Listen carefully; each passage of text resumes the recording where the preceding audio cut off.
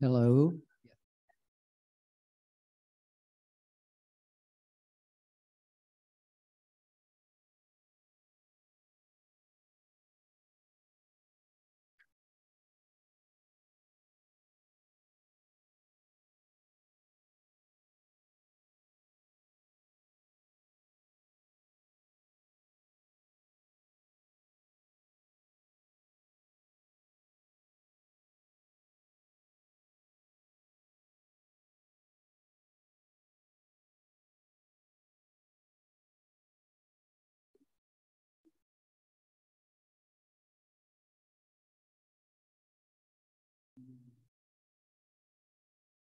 Yeah, I'm not sure about it. But I being recorded as the two.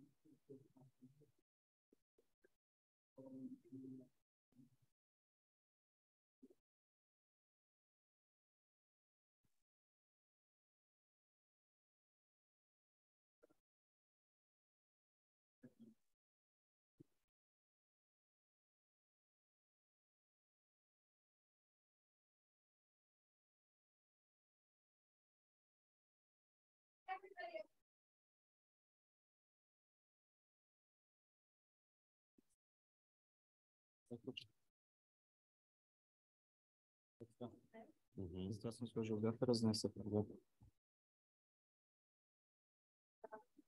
So,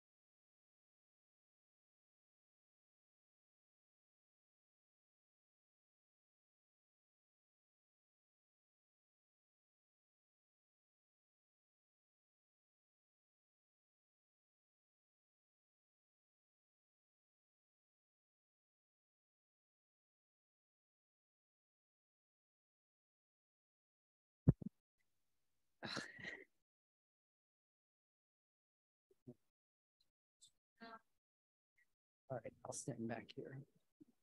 Welcome, hello, welcome everyone. Uh, I'm going to go ahead and and get started here while, yes.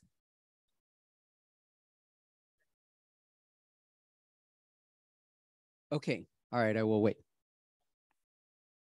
Should I do the welcoming, uh, all that stuff? Can I go ahead and do that?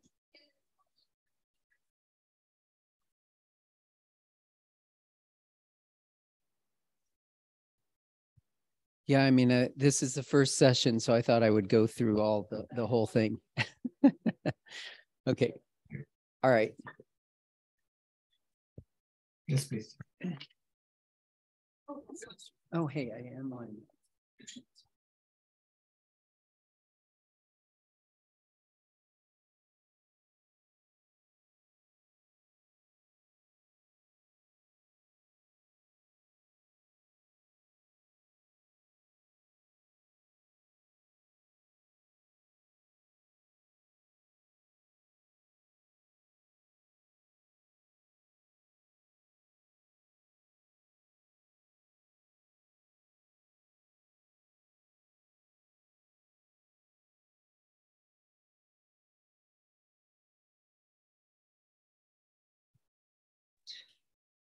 Yeah, hi. Can, oops, yeah.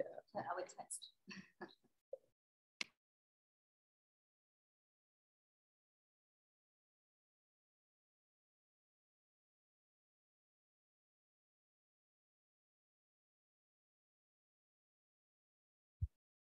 Okay. Um, actually, Patricia, if you can hear me, are you going to do your uh, talk live?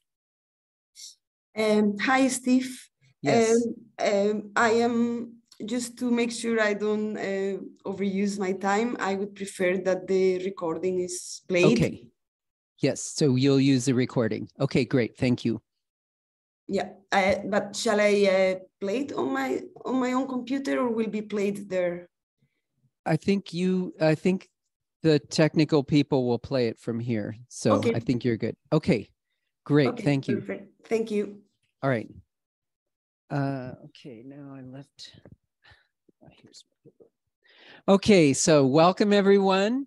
Uh, and I, I get to be the first person to, uh, the guinea pig to figure out all the technical details. So thank you for bearing with me.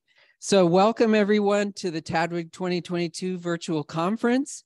Um, this is the contributed orals one session, and I'm your moderator, Steve Baskauf. So we're very grateful for the tech support from Pensoft Publishers and Vibe Systems teams. So this session will be recorded for later viewing.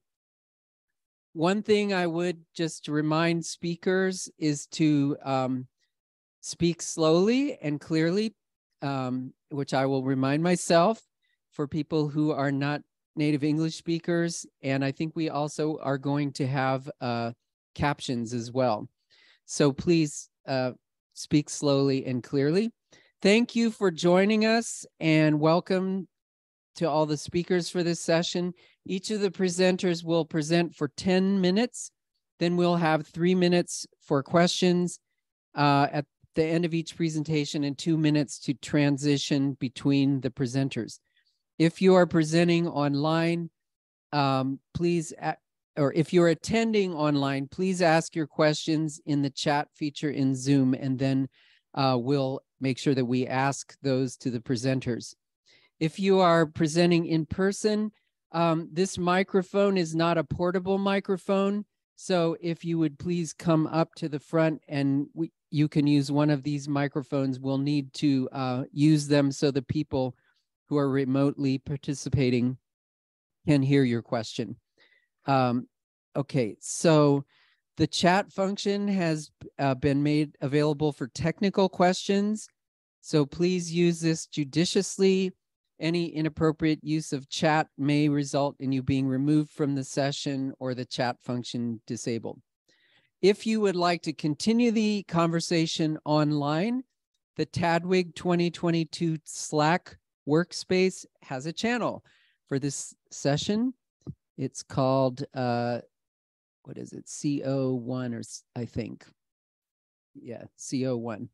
Okay, so this link was provided um, to via email to MailChimp. So if you're not on the Slack, you can connect in that way.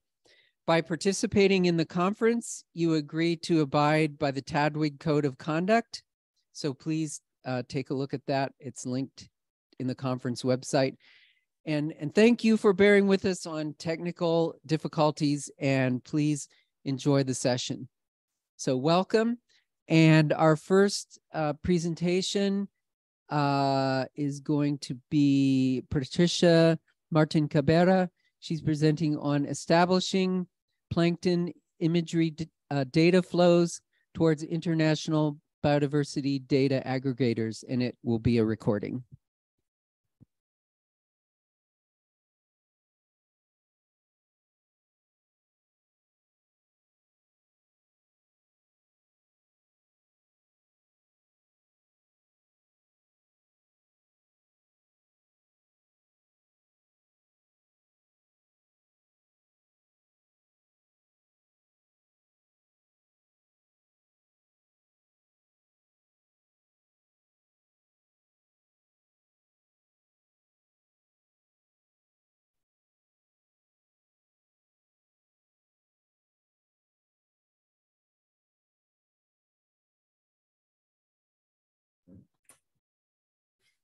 Um, hello. If there is a problem with the recording, I can also do it live. I think they're working on uh, on trying to get it started. So Okay, we'll see in a moment. okay. So, but I should unmute me. And the video, should I keep it off on? Yeah, I think I think if you wait just a moment, they may be able to get the recording running. Okay, perfect. Otherwise, I'm, I'm ready to share my screen and do it live if necessary.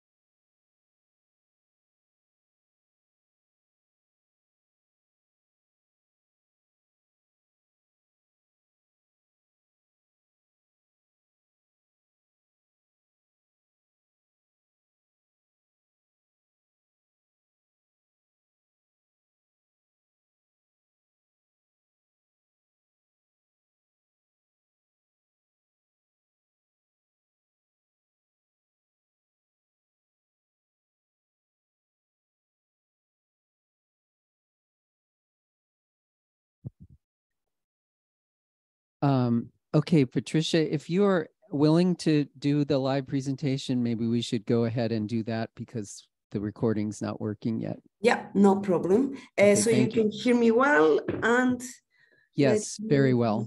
Share my screen. Hmm. Actually, let me see if it will work to actually play the recording myself. Hello, my name is Patricia Cabrera from the Learning Institute in Belgium, and I will present you on behalf of my colleagues establishing plan- plankton imagery data flows towards international biodiversity data aggregators. Uh, so first, I would like to start this presentation with the protagonist of this story. Okay, we are seeing the video fine, but the the Um, volume is not uh, very high. right? Uh, Um, okay, so let me just then find quickly a presentation without the video. Um, Sorry, you are the first one, so we Yeah. are working out all the technical details with you. Our apologies. No, no problem. Um, I should have had ready the uh, a presentation without the recording, but I hope it's. I can quickly remove the video. So.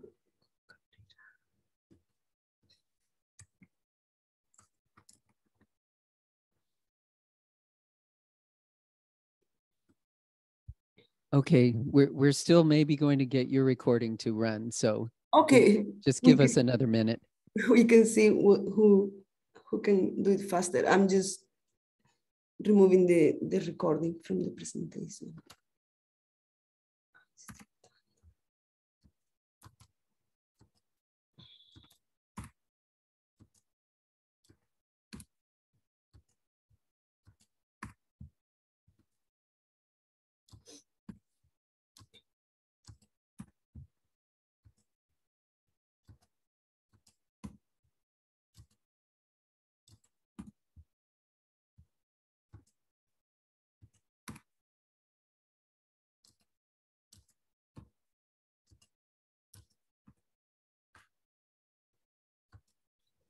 Okay, so I I have a presentation now without the the recordings. I could do it. Okay, just go ahead and share and do it then. Hopefully I deleted correctly. Okay, so you can see now uh, Google slide. Yeah, we're seeing the uh not the okay, yeah, there we go. Perfect. Okay. Okay, thank you, and my apologies. Uh, so uh, my name is Patricia Martin Cabrera. I'm from the Flanders Marine Institute in Belgium, and on behalf of my colleagues that are uh, there uh, in the in the slide, I will present you the work we have been doing for the past year in the framework of the JERICO project um, uh, to establish plankton imagery data flows towards the international uh, biodiversity data aggregators. But first, uh, just to put you a bit of background, why do we study plankton? Uh, so here you see in the, in the schema, uh, typical pelagic food web, where uh, we, we have uh, from plankton being uh, at the base of the marine pelagic food webs, followed um, that is composed by phytoplankton and zooplankton, and then uh, it goes all the way to the top of the marine food webs where we humans are feeding on fish, which feeds on uh, plankton.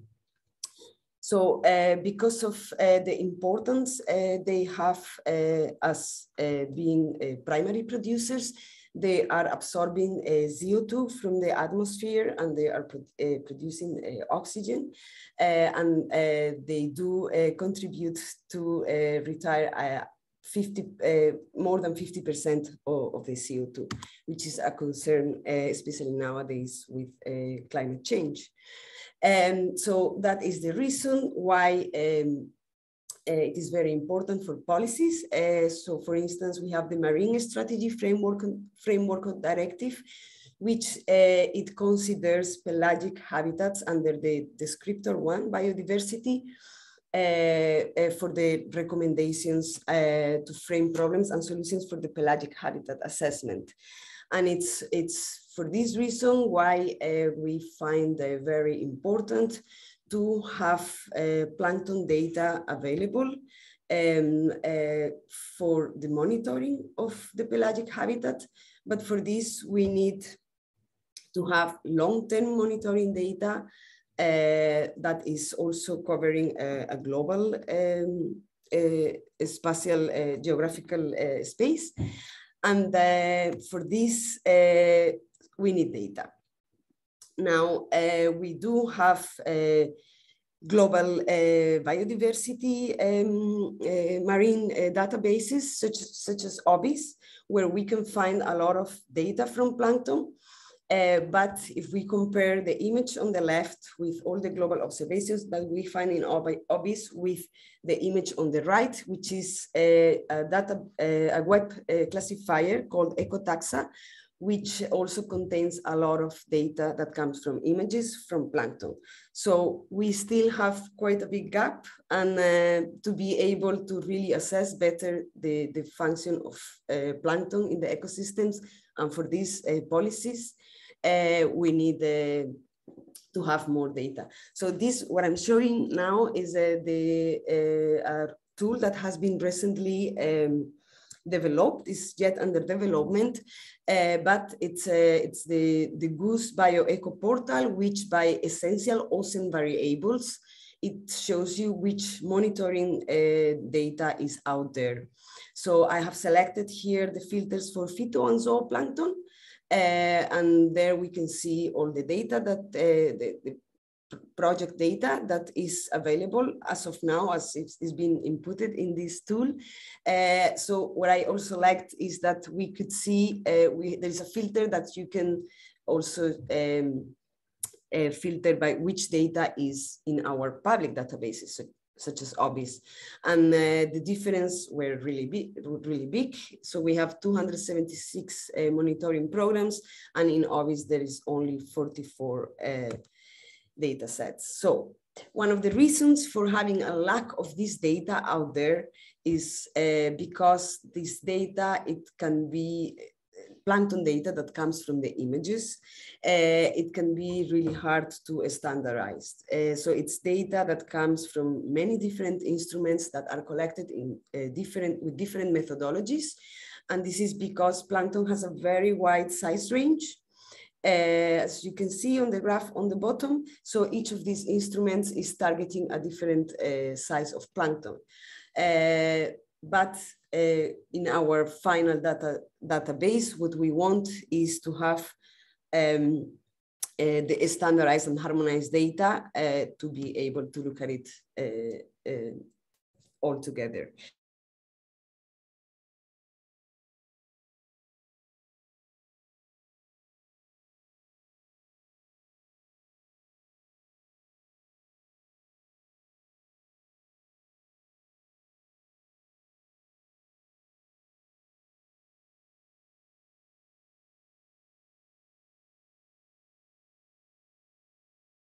Two core uh, terms, uh, WoRMS for the taxonomy, the marine regions, uh, for place names, and the BODC vocabularies for instrument names, for example.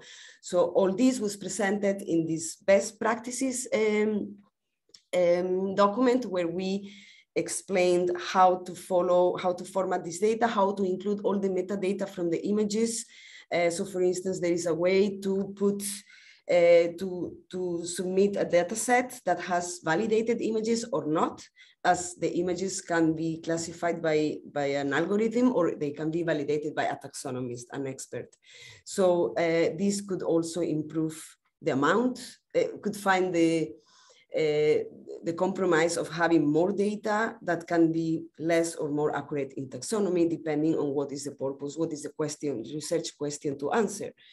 And um, because I'm not sure how good I am doing by in time, I won't go a lot in detail, but in these best practices, we are also uh, providing a data flow to be able to submit uh, data for from instrument, how to process this data using Ecotaxa or not for classifying the images, uh, where you can also have uh, uh, an output on this Darwin Core OBIS M data format and to deliver it to the, the international data aggregators.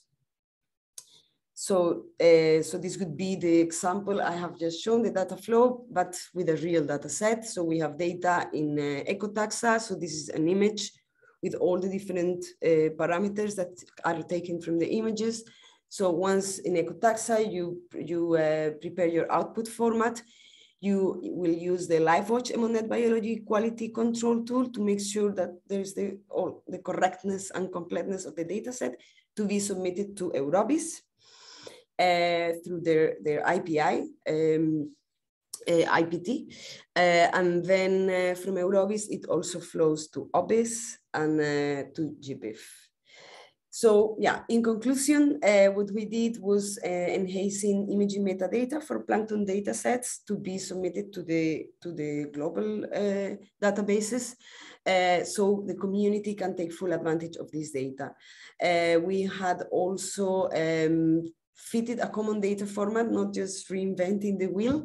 And uh, in this way, we can uh, make sure that the measurements coming from different methodologies and instruments are comparable.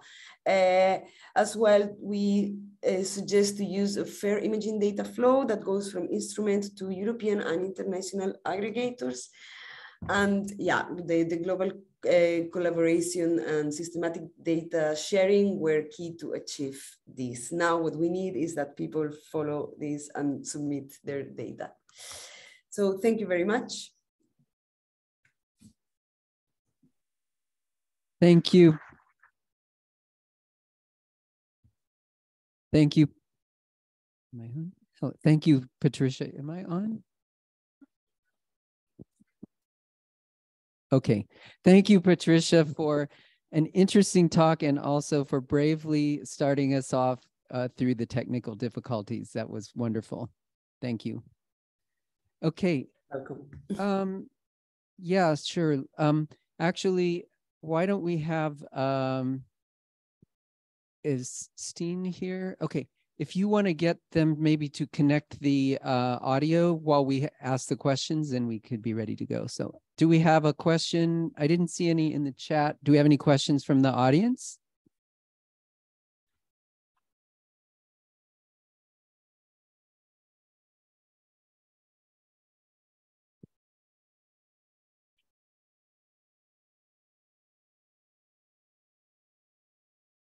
Hello?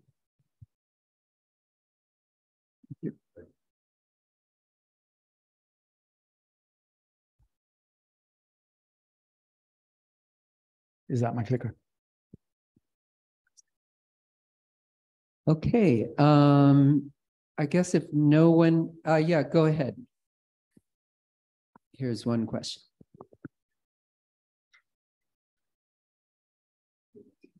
Yeah. Hi, Patricia. This is Abby Benson. I'm node manager with OBIS USA. And I was just curious if you have an estimate on the number of data sets that could be throwing through, flowing through this pathway um, to increase the number of, of data from plankton imaging.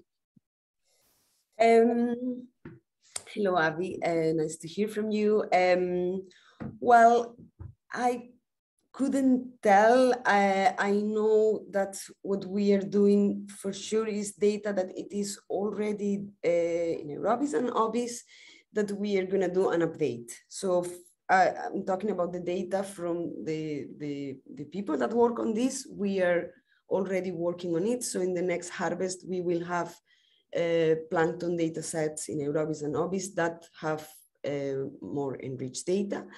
And um, uh, yeah, ideally, uh, yeah, I would expect that pe more people use it, but uh, I think we have always this bottleneck that if uh, people in the projects do not have um, some uh, tasks allocated to do their data management, it becomes uh, really hard to really invest the time because sometimes it's, uh, yeah, it's, it takes a lot of time to, to format this data. So, but yeah, as in all the projects I work and that I work with plankton data, I am uh, pushing to, to do this. So for sure, there will be some data sets uh, from, from Europe and as well from Brazil uh, coming towards uh, OBIS in the, in the coming months. All right, thank you. So uh, I guess we'll go on to our next presentation, which is uh, uh, a, an in-person one. And our speaker is Steen Dupont, and I'm going to let him introduce his own topic. So go right ahead. It's not on there yet. Um, it's fine. We'll wait. Fantastic. Um, right. Thank you. My name is Steen Dupont. Uh, I'm from the Natural History Museum in London. And uh, it's easy just to just say the title. So towards a next generation collections management system as part of the institutional and community data ecosystem. So more of a strategic talk but I do promise that I'll leave you with more information uh, in, in regards to the poster where ha that has a bit more. Um, excuse me, just yeah? a second. I'm not seeing the uh, slides on the Zoom. Oh. I'm only seeing them in person.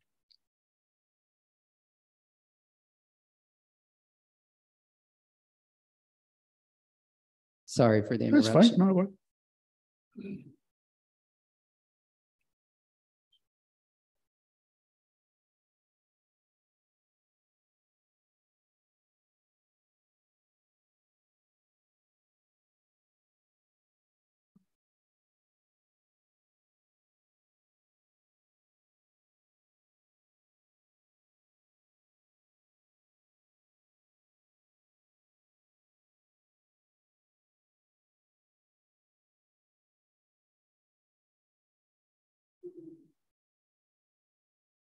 Sorry. It's fine. We should have gotten to one of the more interesting slides though.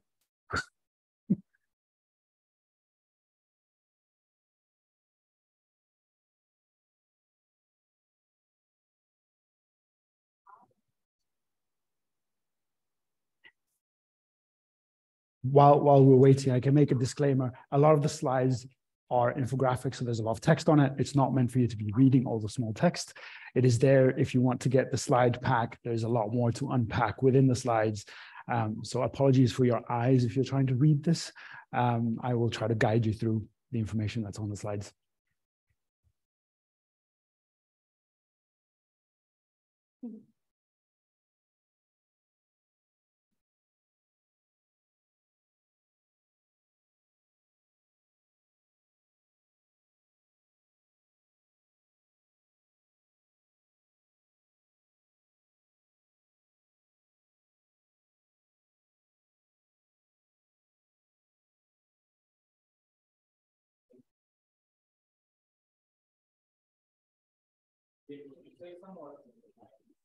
Yeah, uh, me or.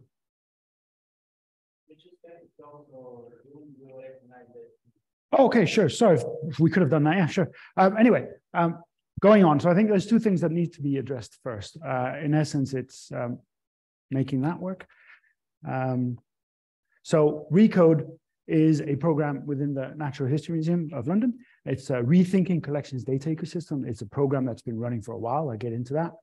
Um, more importantly, um, it has this vision. I think the focus is more mainly on the big, on the bold letters to promote management of an engagement with natural sciences and, and collections. Um, so that's Recode in itself. It's a big program with an initiative to look at collections management systems and the needs for the museum and how we get to the vision that we have. And that's sort of what it's all about. But I think to start with, it's important to just have a look at what a collections management system is. Now, this is Jack Ludden's infographic, so I do have to credit him.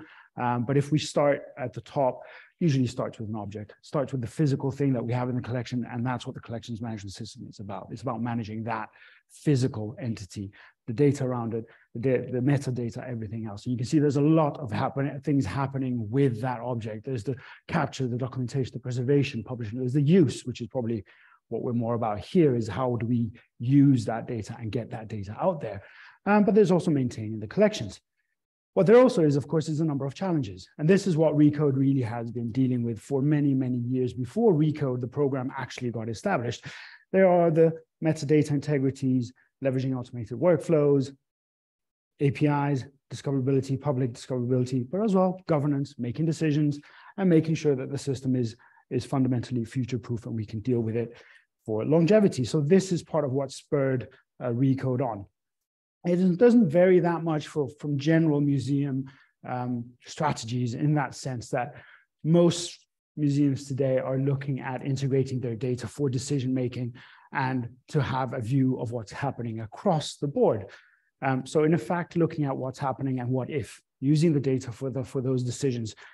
We have the data sources, we have the systems.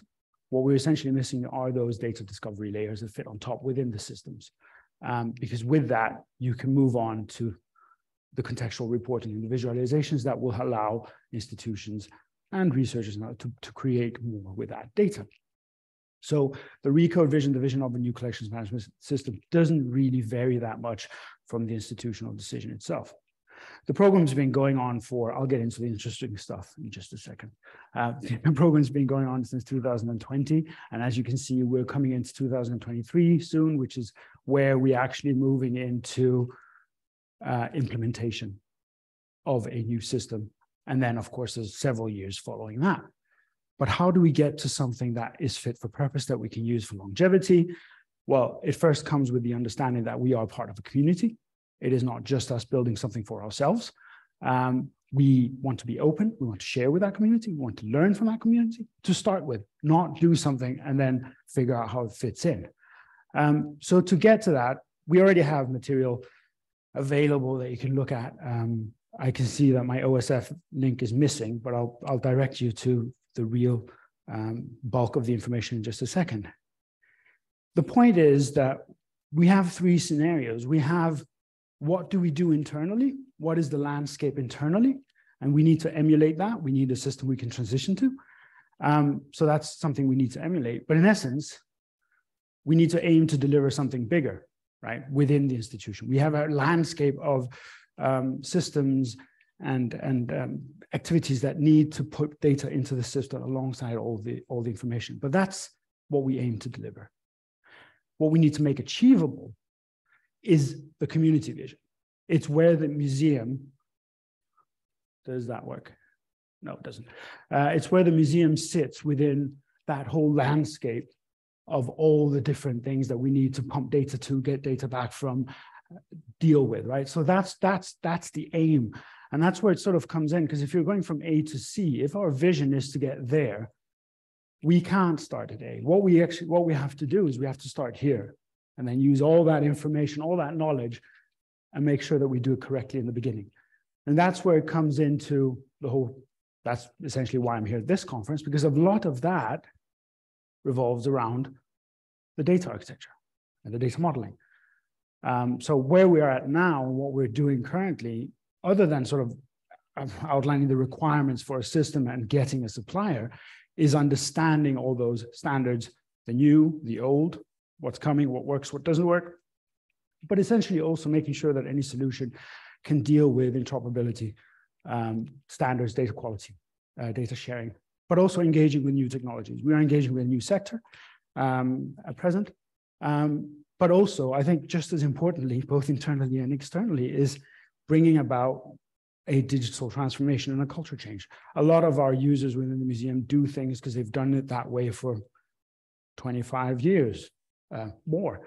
They might have to change because we might have to have more um, similarity across the museum, across our users. So there will be constraints, there will be things, there's a huge change that needs to happen.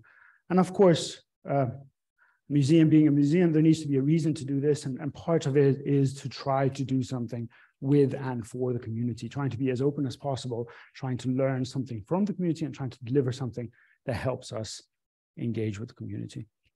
Um, and this, this is the one that I'm hoping will make the, the talk worthwhile. Uh, there is a poster that does talk about the data standards and, and the data model, the conceptual data model we have so far. Um, for scrutiny, it'll come up in the poster session, of course um, as well as this talk itself, hopefully spurring on some conversations and some dialogue uh, with this community and hopefully allowing me to come back at some point and, and showcase what happened, what we've managed to do and whether it works, to be honest, because this is a huge journey. It's a huge thing that we're, we're trying to do. Um, so maybe I won some time. I'm not quite sure, uh, but I'd like to thank, of course, all of you, conference, the museum itself, um, and that's it. Speed talk.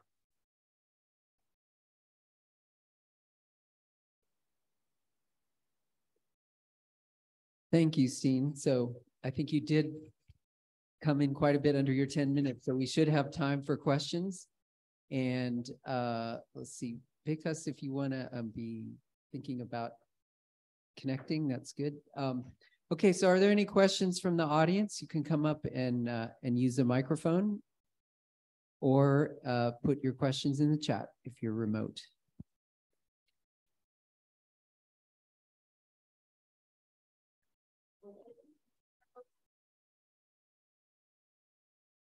Hi, Henry Engledow from Meise Botanic Garden.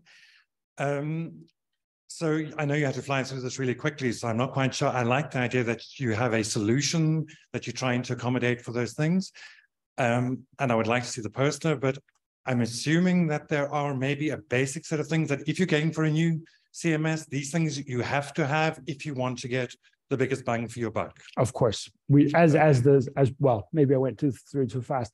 The emulate slide does, of course, mean that we do have to present the function. There has to be a system that we can work with as a museum and and and, and meet all those requirements that a museum has to manage a collection. Of course, we were not going to implement something that can't work for us. But underlying, making sure that our data models are flexible, that we understand the data standards that we currently have and that might come are essential because if not, we might end up building something that can't accommodate what comes in the future. And that's the whole plan. The plan, is to make something flexible enough that we can keep improving it and not get, um, well, not be able to do that.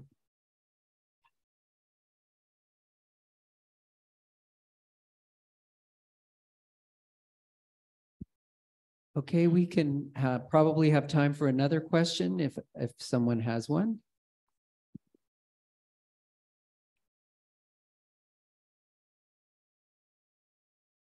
All right. Fantastic. Thanks so much. Okay. There, you get that.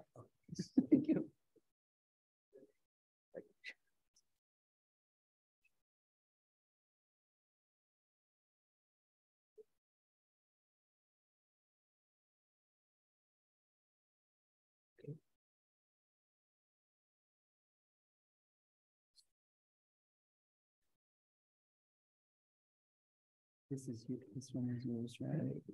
Yes, yes, I.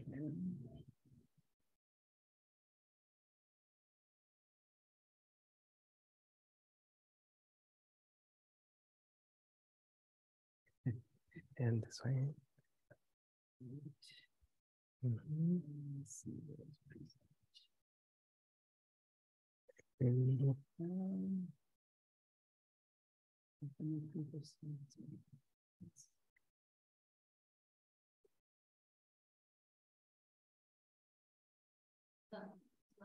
Oh, slideshow. Yeah. Sorry, I should have let somebody Yeah. else do that, yeah. Okay. Perfect.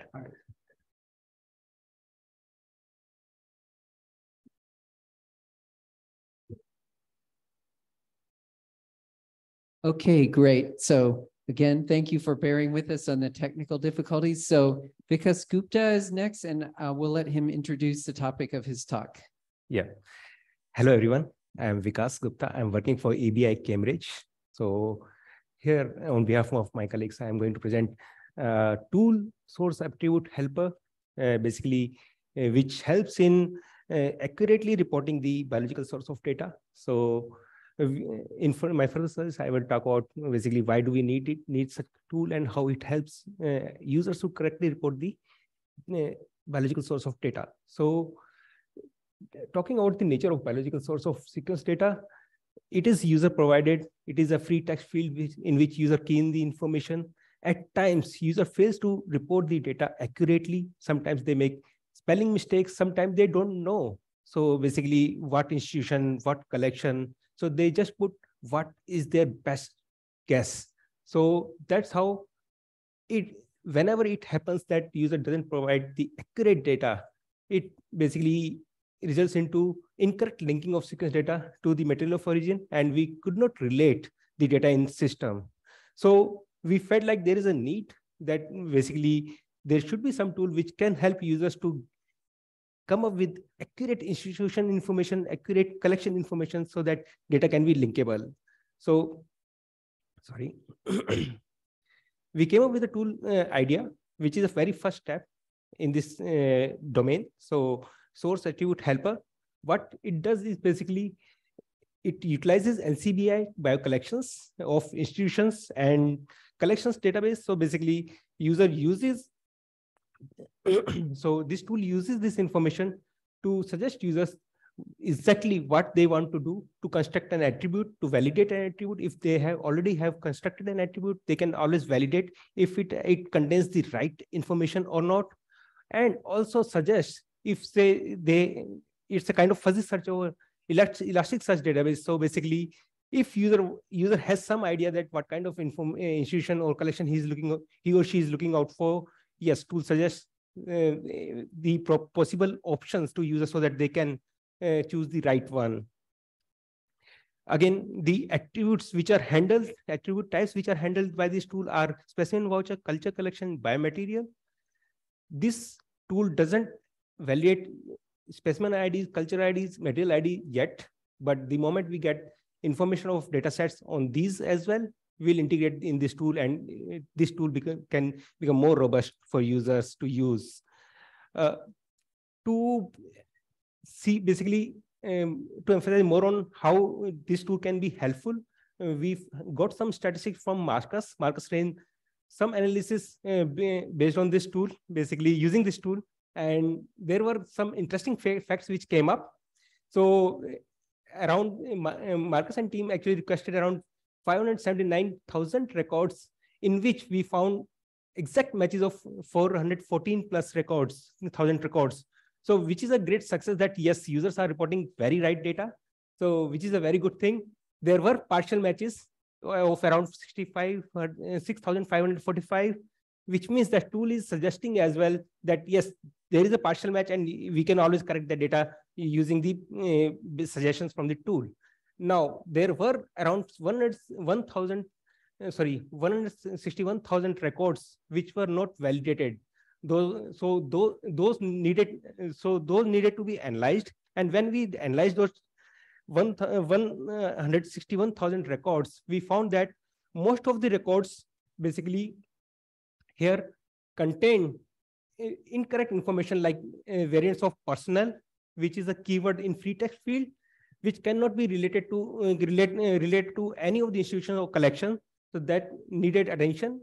Again, 47 IDs contain unknown institution and 4 4,246 IDs contain uh, known uh, unknown collection codes. So the major part of the problem was the uh, variants of personal keywords. So users are putting some information which they don't know or they are not able to get the right information from this system. So that's where this tool can help users to come up with the right information of about institutions and collections. So again, uh, talking about the data source for this tool, uh, I just wanted to emphasize here that we are using NCBI data collection, basically, which is a curated data of meta uh, metadata for culture collections, museums, herbaria, and other natural history uh, collections. So we process those uh, for data collection, uh, data population. We fetch the information from biocollection database and populate our elastic data store, which basically on which we run the fuzzy searches to help users to come up with the right information.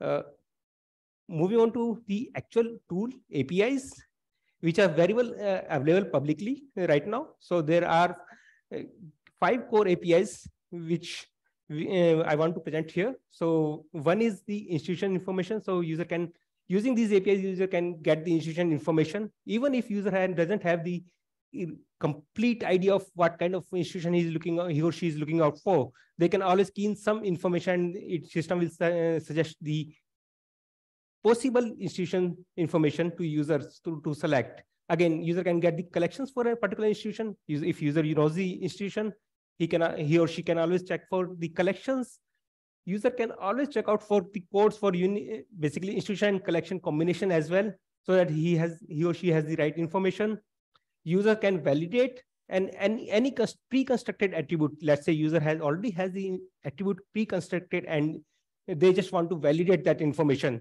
System allows them to validate as well. That's where basically Marcus and Tim use the same, same, API, same, same API to come up with these statistics as well. So uh, we uh, they ran these statistics on the NC, uh, INSDC sequences database uh, dataset, and yes, this API very well worked for us. Then we have construct API where tool allows user to select the institution and select the collection and then uh, tool construct the attribute and helps user to save that attribute as well uh, on their machine. Again, these API endpoints are available as part of Swagger documentation online.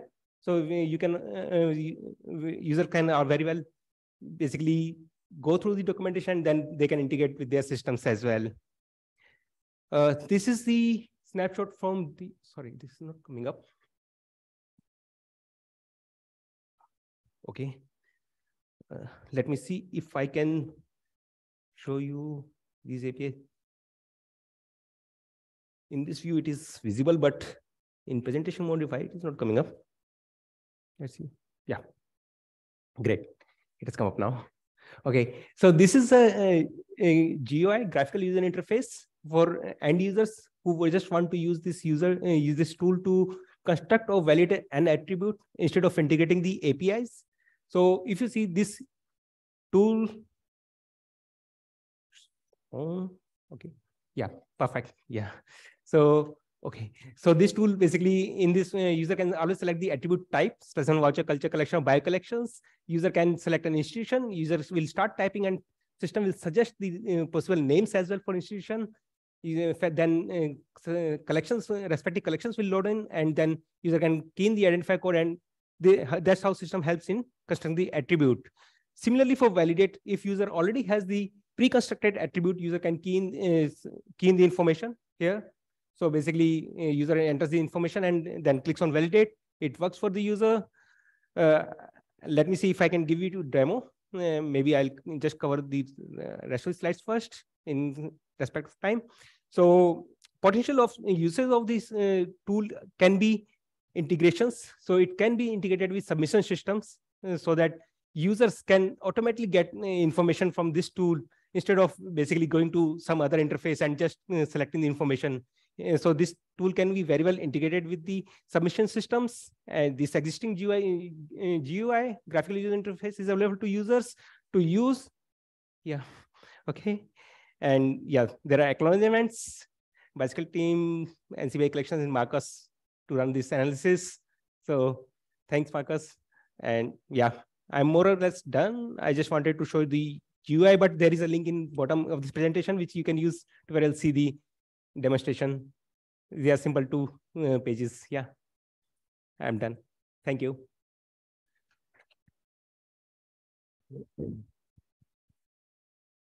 Any questions? All right, thank you. Yeah, are there any questions in the audience or in the chat? Nothing in the chat so far. Yes.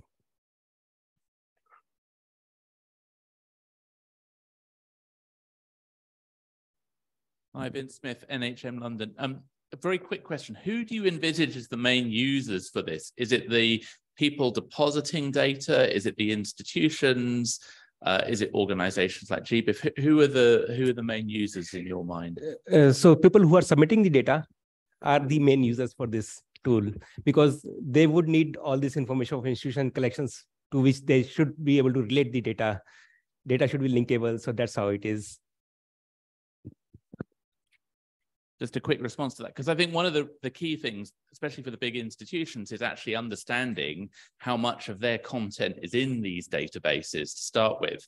And maybe there's a kind of a gbif type model here whereby gbif does a fantastic job of telling each institution how their data is being used. And i think that might be something that could follow through to the big sequence databases in terms of kind of that same level of detail about how their collections are being represented in those databases and that would get the collections more hooked in if you like to, to that community. That might be something to think about. Yes. So Joana, would you like to add? Yeah yeah. Thank you. Hi, I'm Joana uh, Paupério from ENA. So this is on, yeah. Okay, uh, uh, just to tell that, uh, yes, so one of the purpose of this, this is for users to use, but one of the purposes is to be able to further link the data that is in ENA, so the sequence data with the uh, origin of the specimens. And then GBIF can get that information quite easily by, because we are using institution codes that are also the same as GBIF has in its uh, biocollection. So uh, that is possible. So GBIF can also get that information to link the data in their clustering algorithm. So that, that's one of the purposes also of this tool. Okay. Yeah. Thank you, Anna. All right, thank you. Um, so I think maybe we should transition to the next one since it's a remote one and it might take us a moment to connect. Um, so the next presentation is by Vishnu Kumar Kadhirvelu. Um, and are you, uh, I saw you on the Zoom. Yes. Do you know, were you planning to present live or do, or you're recording? Yeah, I'm planning to use the live one actually. Yeah. I'm sorry? I'm planning to use the live presentation. Live presentation. Okay, great. All right. Well, I'll let you go ahead and introduce the topic yourself. And if you want to just share your screen in the Zoom, you can go ahead. Uh, uh, I think now uh, everyone are able to view my screen. Yes, we can see your screen. Great. Uh, so my uh, camera is a little tilted, so please don't mind that. Yeah. Okay. Um, so hello everyone, and uh, uh, myself Vishnu Kumar. I'm a software engineer working for European Nucleotide Archive, shortly ENA, which is in like EMBL EBI in Cambridge, United Kingdom. And uh, uh, welcome to the talk on enabling community curation of uh, biological source annotations of molecular data through PlutoF and the Elixir Contextual Data Clearinghouse.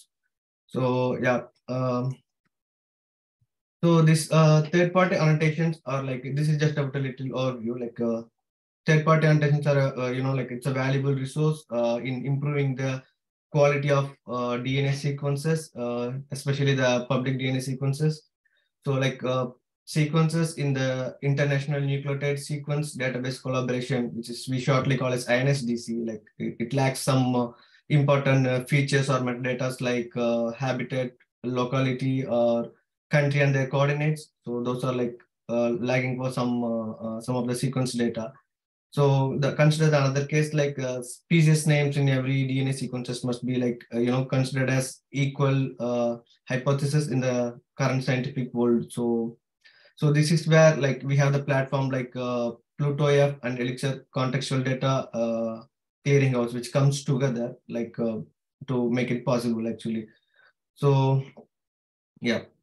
Um, so this linking of this both the uh, platforms like uh, uh, like it also like effortless reporting of uh, gaps between the sequence metadata uh, annotations actually. Uh, so let's uh, speak about the, like ENA, like uh, uh, which is the European node of the INSDC, and which is hold the which holds like large amount of annotations associated with sequence data, and it has the infrastructures, tools, and you know like services for archiving and managing the petabytes of uh, data, like and its associated metadata as well. Like uh, so we generally think like uh, uh, like we need to explore the full potential of molecular resources. So so that there needs to be a good linkage between the sequence data and its biological uh, source actually. So like this request like a, a well foundation for like you know like well structured and accessible annotation should be uh, available in the uh, repositories. Yeah. so um so this work was like developed with the scope of uh, BiCIKL, which is like a, a, biodiversity community integrated knowledge library. So which is the which comes under the uh, support of BiCIKL project, and like uh, uh they establishes like open science practices in uh, biodiversity domain, and you can see like their infrastructure um, uh, partners and other partners we have listed here and you have a, a, link of like BiCIKL project where you can find uh, more such relevant information there. And uh, yeah. So like uh, when we speak about uh, linking of uh, data like uh, like the annotations are associated with sequence data which are related to biological source like specimens suppose like specimens in natural history collections.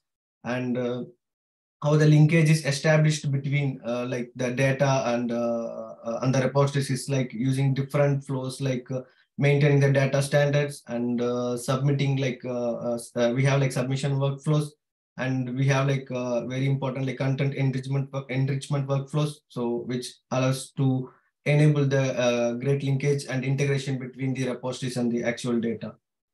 So like some so this is where like I'm sorry yeah, so this is where uh, in order to establish that, uh, we come up with uh, two platforms. Uh, one is like contextual data clearinghouse, which is the, we shortly call as CDCH, like, which is the API, uh, which is backend for the PlutoF web platform, which actually supports this feature.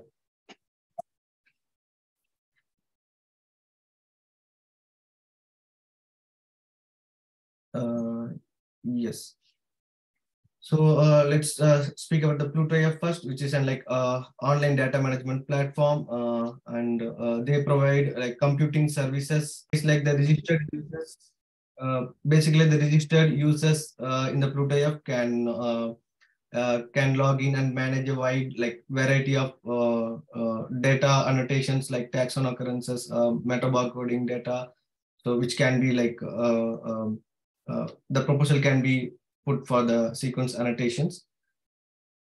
So like now next is like Elixir CDCH, which is that uh, backend processor for the PlutoF web platform. And uh, it has been uh, developed by keeping in mind that uh, to extend uh, to extend correcting and improving like publicly available annotation records, which is in both samples and sequences. So it is an API which is supposed to exchange of data uh, uh, backed by life science uh, research infrastructure authentication. So they have the authentication mechanism where it supports users to manage the profile and uh, it helps to uh, do the annotation proposals with the system. And uh, now, now it's like content enrichment workflows like um, uh, when we say about sequence and sample annotations are often like having like uh, incorrect metadata, um, uh, say ambiguity, or sometimes it's uh, uh, inaccurate as well. So, uh, for example, like the ambiguity arises like in the case um, when you try to add the specimen ID like without the institute information. So now you can see the multiple in, in multiple institution with the same specimen ID. So which leads to like ambiguity when you submit the data. So we have defined the workflow with these two systems uh, uh, to overcome this um, uh, problem. And uh, this is that overall like workflow of how our system works. So generally, um, uh, uh, we always like download the metadata from the uh, INSDC, like using the NCBI's um, utilities on the regular basis. So these data together with PlutoF, uh, like uh, own database records prior to submitting INSDC, like they are like stored and made available for third-party annotation in PlutoF. And uh, uh, and the workflow uh, steps are like you know user annotates uh, sequence metadata by clicking on the annotate link in the uh, PlutoF web platform. So they can have a view and they can make an they can make an like annotation proposal. So it can be created and um, that verification notification would be sent to the uh, designated reviewer. So in this case, ideally it would be the uh, repositories like uh, um, and uh, when the reviewer accepts the annotation proposal or rejects it with the comment. So so this is how the flow works. Like the, the annotation can be either accepted or annotation fields that could be mapped to ENA fields are uh, like pushed to the uh, clearinghouse API. Uh, it's a RESTful API as well. So yeah, so here you can see some. You have two minutes left. Yeah. So if you can see like uh, uh, some general data about if I want to uh, update this particular sequence GU9412003, like if I want to add the new uh, metadata called isolation source. So um, like for the values of water, um, so the supporting details can be fetched from ontology lookup service and uh, the provider name can be given as PlutoF. So once you submit this uh, proposal, then here the processing is happening. So the repositories, they review, they either process that proposal, they either uh, put on on hold or they can they could reject as well. And uh, they can give some notes like uh, approve the annotation proposal. And uh, here are some uh, uh, retrieval APIs where you can fetch data based on data types. In this case, like we don't have any data types for non-COVID types. And right now the provider name could be like PlutoF and record types we support is sample and uh, sequence. Oh, sorry about that. And uh, if you want to uh, fetch all the annotation proposals for PlutoF, you just give the provider name as PlutoF. And if you want to filter it, filter furthermore with the record type as sequence, we can do that as well. And here is some uh, general overview of how the page looks and how we maintain histories and how it has been displayed in the Pluto, PlutoF web platform. And he has some inter interesting statistics like uh, currently our Elixir CDCH API, I mean, uh, the data source stores uh, nearly like 27 point million of COVID-19 sequence records and sample records and uh, like nearly 2.3 percentage of non-COVID records as well. So right now Pluto has like 480, uh, 4,821 annotation proposals across uh, 1,521 different sequences and uh, so when you say about non-COVID non-COVID data, Pluto holds like point uh, zero point eighty percentage of uh, whole data. And uh, yeah, here are the uh, collaborators and others who needs to be like uh, acknowledged for the very good work over here.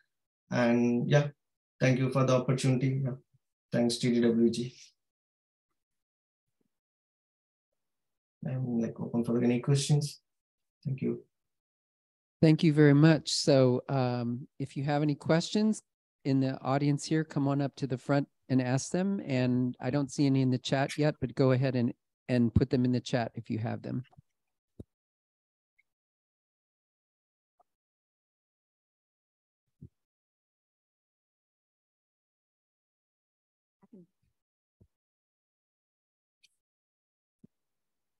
Um, hi, this is Debbie Paul, and I have a question about your comment about the like the metadata uh, for some of this. Does this tool also include possible ways to improve that situation so the data coming in is is better to go along with these annotations? Uh, uh you mean like possible values? Uh, so in case of values, we have uh, we don't have uh, uh, any uh, recommendation, but we follow like always like uh, uh, INSDC's format of submitting the data. like suppose in this case, if you see like there's isolation source, so this can be the attribute metadata you want to change. So these are like we always follow like INSDC's format of metadata. So for values, it's like uh, there's no strict values you can uh, put right now. So the values are open right now. Yeah. Thank you. Thank you. Okay, and we, we can have one more question if anyone has one. Still not seeing anything in the chat.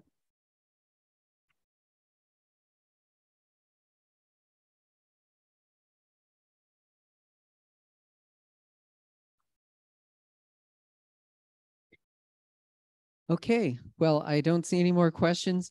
So I would like to thank uh, all of our live and remote presenters for uh, for dealing with a little bit of stress relating to dealing with the technical issues. And thank you to uh, our in-person and remote audiences for your uh, uh, for being patient with us.